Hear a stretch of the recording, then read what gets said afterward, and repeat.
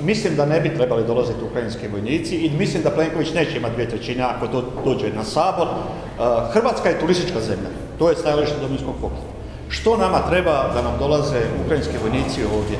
Zar ne bi bilo normalnije da je vlada i prijašnje vlade, a pogotovo ova vlada koja je već šest godina i naj, najduže je Andrej Plenković, sjetimo se, 90. godina dolazile su američke tvrtke od njihovih umirovljenih časnika koji su pružale obuku našim časnicima. Zašto mi svoje časnike ne bi poslali u Ukrajinu i nek tamo obučavaju ukrajinsku vojsku? O, ovim da ukrajinska vojska dođe ovdje ispada da smo mi strana u ratu. To Hrvatskoj turističkoj zemlji sigurno ne treba. Znači, da već sad nismo strane u ratu kad dostavljamo oružje, dostavljamo razne oblike pomoći, pa i tu se vidi neprofesionalnost i Andreja Plenkovića i njegovog ministra obrane. Kad nekome nešto daješ, pogotovo kad je rat, onda se to ne govori na sva zvorna. Onda se ne hvali s tim. Onda se govori da se šalje humanitarna pomoć, a ne da šalješ kalašnjikova i kažeš broj kalašnjikova i broj metaka koji si poslao. To rade ljudi koji nisu dorasli svom poslu, a to je ministar Barnožić. To se tako ne radi.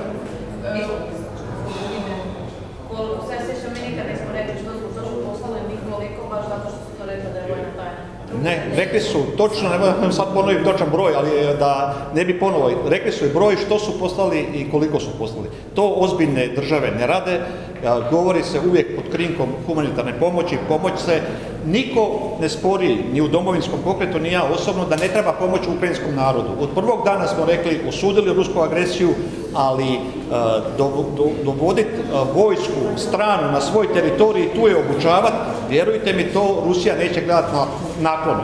Što ako se dogodi neka eksplozija u pola turističke sezone u nekom od turističkih gradova? Mi svoju sezonu možemo zaboraviti. A znamo što to znači onda za hrvatski proračun, što to znači za hrvatske ljude, za umirovljenike i za sve, da ostanemo bez turističke sezone. Prema tome, ima puno većih zemalja u Europi, od Njemačke, Francuske i ostalih zemalja, Poljske na kraju krajeva koja je susjedna zemlja, ne moramo se mi baš trpati ovako mali da mi baš budemo u prvim redovima. Gdje ćete bolji prijedlog?